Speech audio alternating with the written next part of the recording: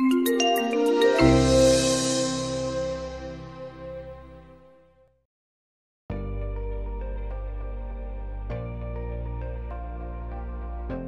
is essential to all life on Earth.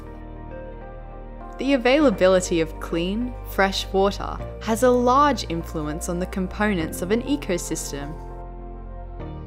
Plants need water to make food during photosynthesis.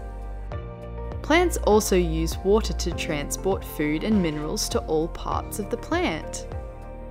The amount of water in an ecosystem therefore affects the abundance and diversity of plants in an ecosystem. Generally, ecosystems with high precipitation in the form of rain will support a greater diversity of organisms. In a rainforest, it rains all year round.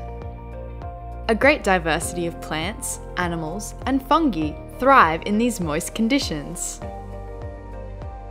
In deserts and tundras, there is much less water available.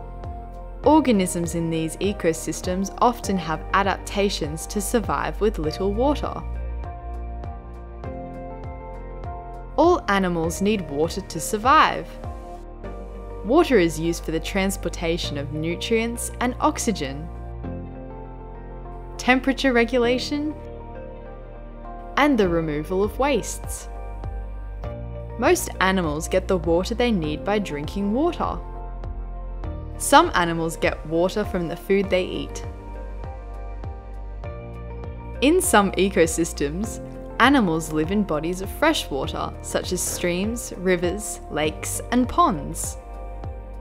Water can also play an important role in the reproduction of many insects and amphibians. Check out our related videos to discover how other abiotic factors like temperature and the amount of sunlight can affect ecosystems. See you next time!